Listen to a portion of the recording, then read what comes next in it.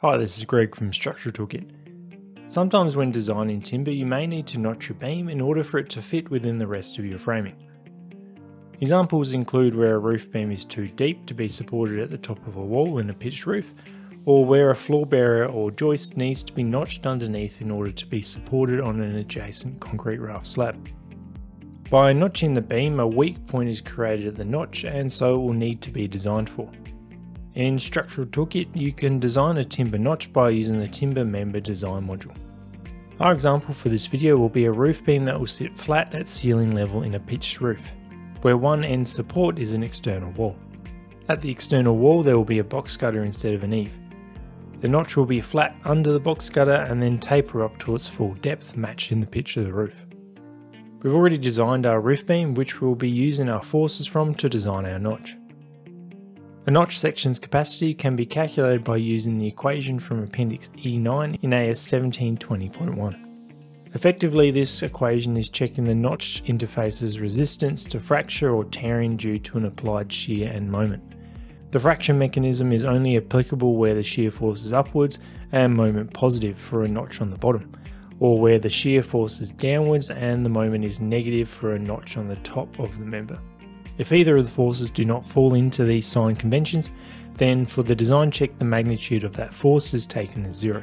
As outlined in the code, the adverse effects of notching may be minimized by increasing the opening angle of the notch, aka rather than having a vertical face at the interface, it is tapered away. So with that in mind, as our beam is going to be notched on the top, we are only going to be interested in downward shear and negative moment, which will be our load combination with wind ultimate forces. Our roof beam happens to be an area of Australia with substantially more wind loads, and so we have some significant upwards forces on our roof beam. So to start our design, we'll open up a timber member design.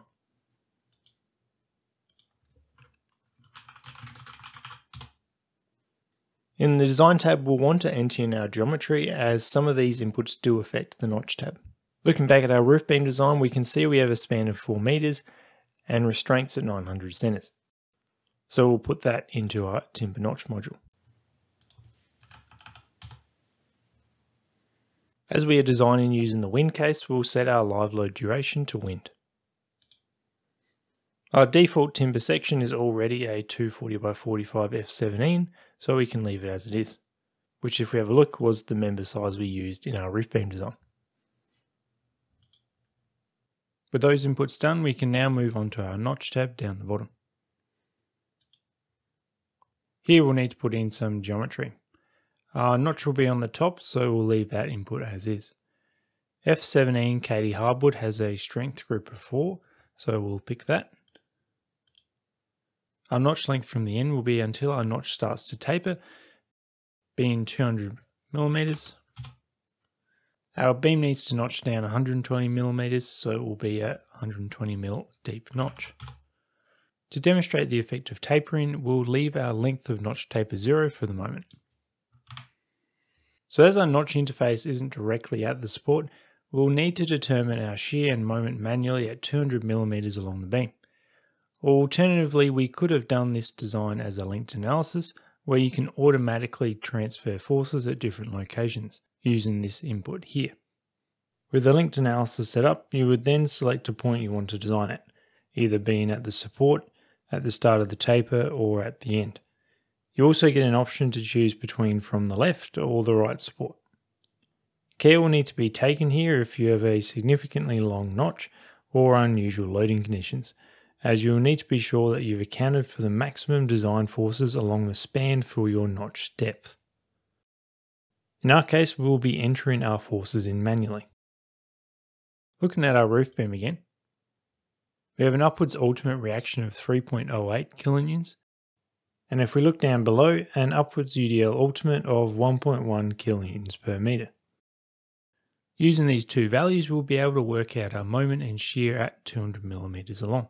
So if we go back to the timber notch design, we'll first start with our shear, which will be negative 3.08 for our reaction, plus 1.1 times 0.2 for our UDL component, which gives us negative 2.86 kilonewtons Our moment will then be these forces resolved based on their lever arm to 200 millimeters along the beam.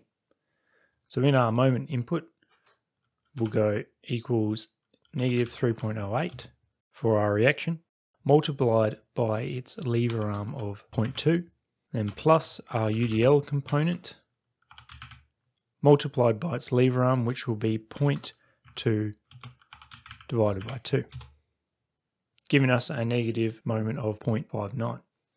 Below we then have calculations for both the standard shear and bending capacities of the notch section, and then below the formula for notch capacity from Appendix E9. Something important to note with this equation is that it will consider the stability factor K12 when the notch is within the middle third of the span, making it quite important to enter the correct location of the notch above and also the span in the design tab. We can see in our case our notch fails. So clearly we will need to consider our taper, which based on the detail we have will be 300 millimeters long. Putting this 300 millimeters in, we can get our notch to work. That about covers designing a timber notch. Feel free to check out our website for other tips and videos. Thanks for watching.